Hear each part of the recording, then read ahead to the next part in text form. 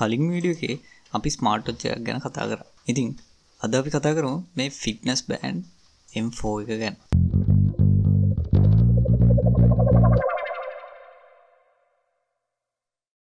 මේ බෑන්් එක දැක්කවන් අපිට මතක් වෙන්නේ MI බෑන් 4 MI බෑන්් එක වගේම තමයි මේ M4 බෑන්් එකත් හදා තියන්නේ.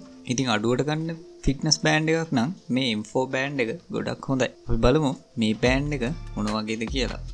අඟල් බින්දෝදශම නමය හයක කලෆුල් LCD ඩිස්පලේ එකක් මේ බෑන්් එකට තියෙනවා. එවගේම මේක ස්ට්‍රිප් එක විදිහට මේ වගේ රබ බෑන්් එකක් තියෙනවා.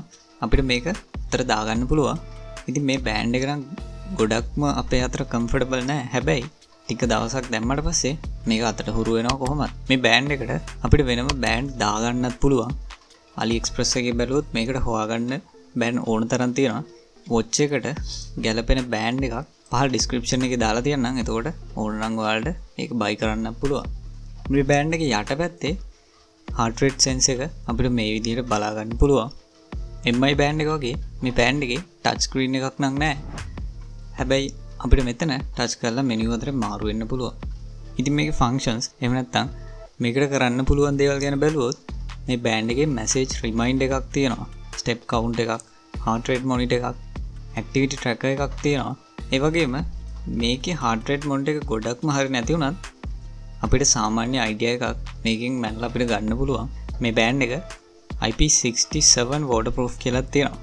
හැබැ මගේ බෑන්්ඩ නම් වැස්සර තෙමිලා වත්තුර බෑන්්ඩ ඇතුට ගිහින් තිබුණා.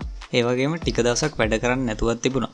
ඒක අන්තිම් ප්‍රතිඵල විදිහට මේ වගේ ස්ක්‍රීන් එක ඉරි දෙකක් බලාගන්න පුළුවන් වුණා. ඉතින් ඒ නිසා මේ බෑන්් එක වත්තුරට නම් දානක එච්චර හොඳ වැඩක් නෙමේ මේ බෑන්් එකත් අපිට ඇන්ඩරෝයිඩ iOS වර්ග දෙකටම පාවිච්චි කරන්න පුළුවන්. ඒකට අපිට යෝහෝ කියන මේ ඇප් එක දාගන්න පුළුවන්. මේ අප එක දාගෙන බෑන්් එක කනෙට් කරගත්තම අපිට අපේ ස්ටෙප් එක හාටරේට් එක සහ ස්ලීපිං මොනිට කරගන්න පුළුවන්.